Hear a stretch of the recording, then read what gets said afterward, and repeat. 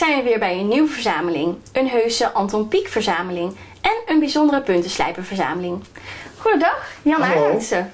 Hallo. Hallo, Kunt u misschien iets over u vertellen? ik, eh, ik ben een verwoed eh, verzamelaar van onder andere Anton Pieck.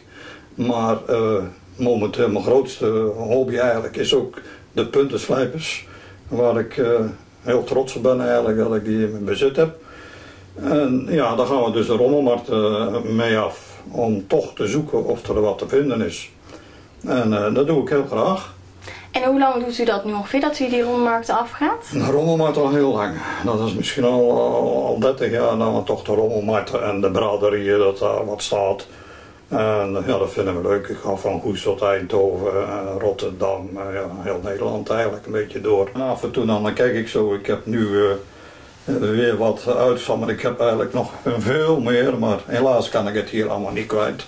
Ik zou best een leuk museumtje daarvan willen maken. Dat er misschien een uit- uitgastel een eh, Anton Pieck museumpje komt dan. Ja, Ja. zou wel leuk zijn. mooie ja. kamer ergens in de winkel. Ik weet niet of dat zomaar mag natuurlijk, want eh, het Anton Pieck Museum, het originele, dat staat in Altem. En dat is echt een bezoekje waard. Heel leuk. Want wat voor spulletjes verzamelt u van Anton Pieck? Het meeste de tekeningen, eh, de kalenders, zoals je ziet, de geboortekaartjes, die ik, eh, en heel veel boeken. Eh, er zijn ook boeken bij dat ik zeg van nou er zit maar alleen maar een ex-libris in. Ik weet niet wat je weet, dat is alleen maar... eh, Nee, vertelt u maar. een ex libris, ik, ik weet niet of ik hem hier... Normaal zit is een ex libris, dit is, dit is toevallig een ander. Maar ex libris dat doet hij alleen maar zijn plaatje in en dat schijnt heel, heel eh, apart te zijn ook. Dat hij die plaatjes erin heeft gemaakt. Een soort postzegel lijkt het. Dit is een soort postzegel, ja. Ook de- deze zeg maar, want die is ook al, heel oud. Die, die, eh, die hebben we dan. En kijk, 1937, januari 1941. Dat is al, al, al, al 60 jaar, eh, zeg maar. En kijk, hier staat ook weer de Anton Pieck En dat is zomaar één.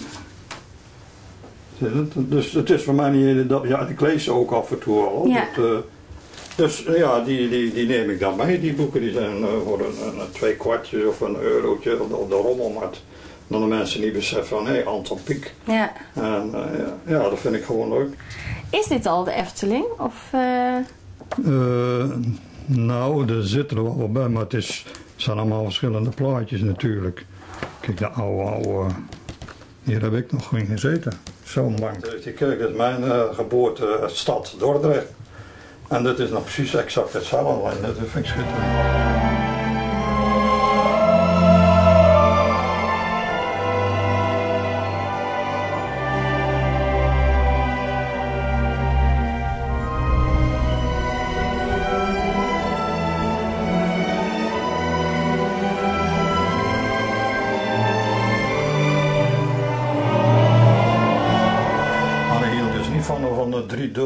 Die, kaarten maken tegenwoordig, weet je wel. ja? En die schilderen, ik zal ze ook nooit kopen.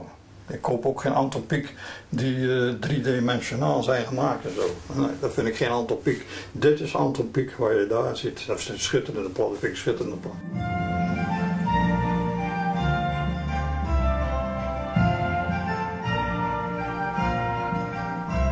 Vind ik zo leuk.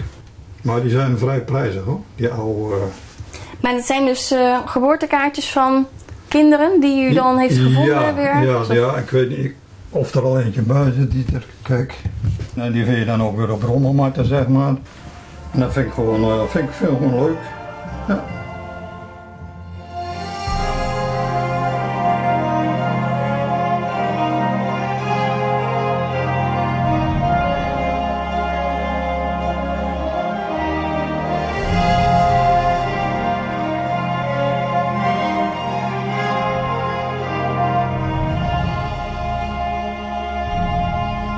Ja, Anton Pieck, eh, eh, zoals je weet, die is eh, 92 jaar geworden. Hij, eh, hij zat heel dikwijls in zijn eh, werkkamer. Ook de Efteling, dat was eh, een ontwerp van eh, Anton. Bovenplaten ook etsen en houtsnijwerk. En ja, het is gewoon eh, heel leuk om, eh, om te zien en te verzamelen. Ja, Ja. want Anton Pieck heeft uiteindelijk dan bijvoorbeeld voor het Sprookjesbos Ja, dingen getekend die de Efteling dan heeft uitgewerkt tot, Efteling, ja. tot, tot het echt, zeg maar. ja, ja, die heeft hij dus eh ontworpen. Want dit eh, komt ook heel erg Dit Efteling. is het eh, sprookje van de Efteling. Dat is ook weer, alweer een heel, eh, een heel oud eh, boekje. En er zit ook een, eh, een plaatje bij. Wat je dus eigenlijk eh, heel weinig tegenkomt van Hans en Grietje. En dat is ook weer eh, Anton Pieck ontwerp wat ik weer gevonden heb. Ook een vondst op de rommelmarkt. Ja, ja, ja, ja, dat is ook weer zoiets.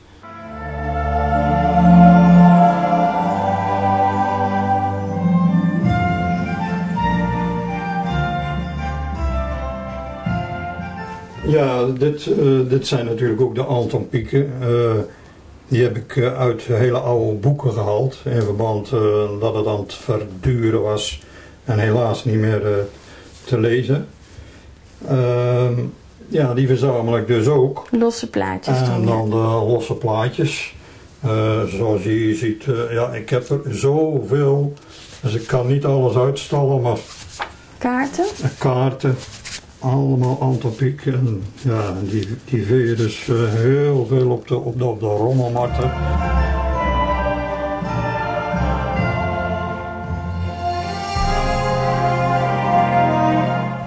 Een Nou hier, dat is wat u net vertelde. Schetsen voor de omslagen van de kerstnummers van Wereldkroniek. Ja. Oh ja, zie je? Ja. Ja. Helaas heb ik er nog geen ene meer bezit. En dat vind ik eigenlijk wel jammer. Maar die zijn ook heel sporadisch te vinden hoor. Nou, zo Ja. te zien bent u in ieder geval nog heel druk met uw eh, verzameling. Mhm. Wilt u er nog lang mee door blijven gaan? Ja, ik, eh, zolang als ik kan wil ik dat wel, eh, wel proberen natuurlijk althans. Ja, en ik, ik, ik vraag misschien aan mensen of die dit gezien hebben en leuk vinden. om misschien eens te kijken of ze iets van Anton Pieck hebben. Dat ze denken van ja, we doen er niks mee. U mag het naar mij toesturen, u mag mij bellen. Dus als u nog iets heeft liggen, dan vergeet u Jan dan niet.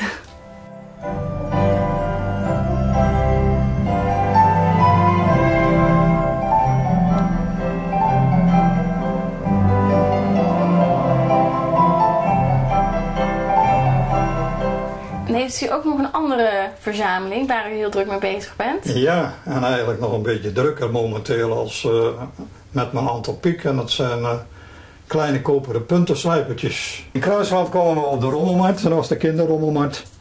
En daar zag ik dit puntenslijpertje staan. Althans, ik zag dit staan. En dat was bij een meisje van eh 5, 6 jaar. Dus ik zeg tegen dat meisje, wat kost dat?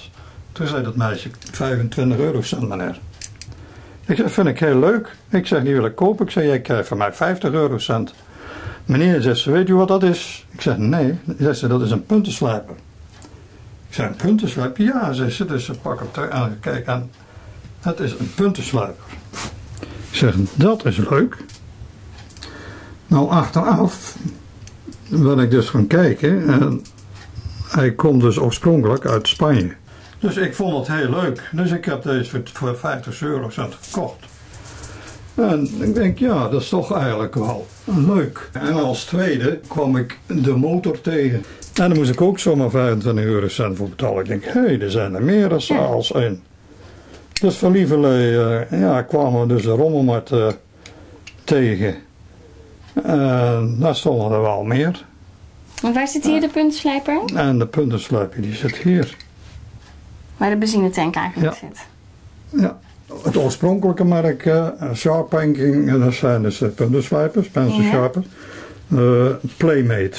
Soho, dat is dus eigenlijk de oorspronkelijke naam die je dus tegenkomt. Oké, Kijk. Oké, dus dit is de En catalogus van hier zit de catalogus van de vliegtuigen ja, tot.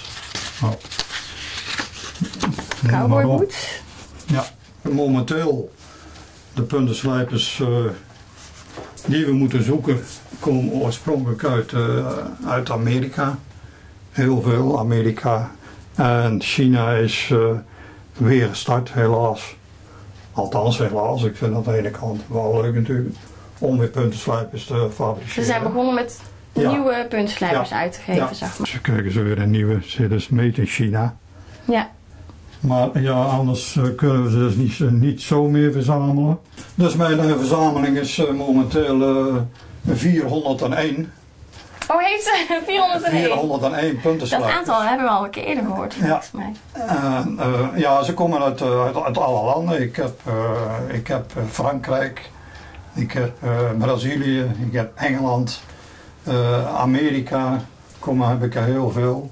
Maar zoals je ziet, helaas zijn daar dus die vliegtuigen in eh, gevlogen. Is het World Trade Center. Die heb ik gevonden, heb ik heel lang naar moeten zoeken. En eh, ik, eh, ik heb hem gevonden op de rommel een goes. Die mag ik meenemen voor een eurotje. Momenteel zijn deze al dik 45 euro waard.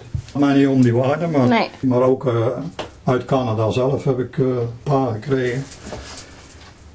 Ja, en dan de nieuwere. Eh, dit is dus weer, eh, hij is heel leuk. Ik wou hem wel graag hebben. Maar dat zijn dan weer de nieuwere modellen die in, in China vervaardigd worden, zeg maar. Dus ze komen er wel, maar sporadisch.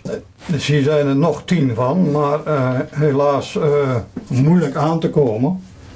En ja, dit is ook weer eh, de originele. En ik heb er eh, daar nog één staan. Ik heb er twee van de twaalf.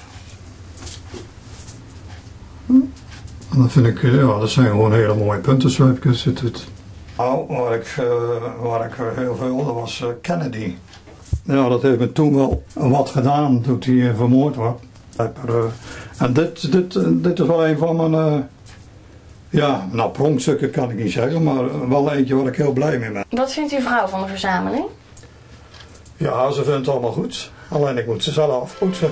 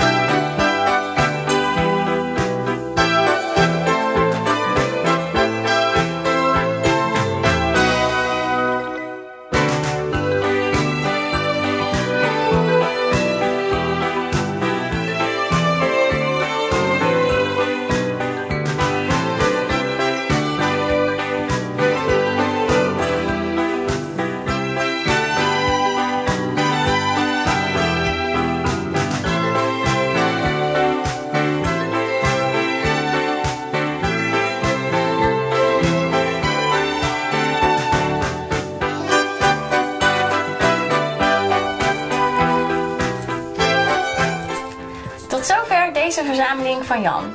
Bent u of kent u iemand ook met een bijzondere verzameling en wil u graag in onze uitzending laten zien? Stuurt u dan een mailtje naar bijzondereverzamelingen.rtvheldenberger.nl Bedankt en tot de volgende keer!